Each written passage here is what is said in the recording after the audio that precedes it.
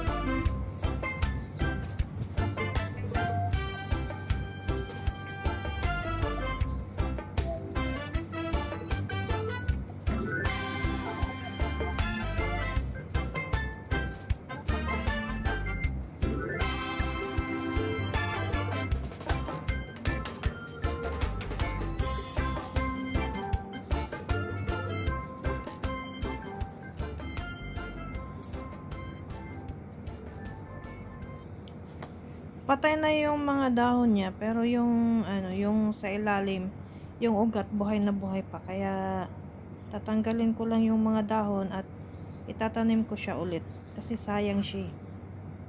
Indoors po 'yan ng mga ano, ng mga bul bulaklak. Kaso lang walang mapaglagyan sa loob kaya dito ko na lang siya nilagay sa labas. Ano 'yan siya, yung yung money plant din siya. Sa sobrang init ngayon, dahil summer dito, ayan, namatay yung mga dahon niya. Pero nung taglamig, ang gandang, super ganda niyan. Mga mamshes, panurin nyo hanggang dulo yung video. Kung may ads, wag nyo i-skip. Salamat! Paki-subscribe na rin po sa mga hindi pa po nakapag-subscribe. Tulong na rin po sa small vlogger na katulad ko po. Salamat po. God bless.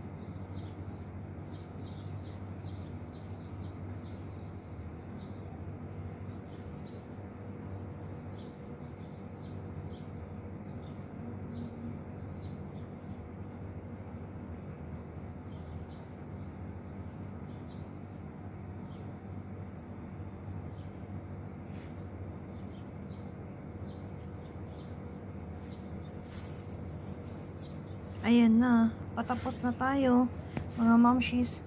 Nilagay ko na yung ano, yung unang lupa para hindi masayang. Tapos idagdag ko yung pataba, patabang mat, patabang lupa para hindi mamatay yung ano, yung halaman. Sinegregate ko muna siya. Tapos first step, second step ganun. Ganyan lang proseso para hindi mamatay.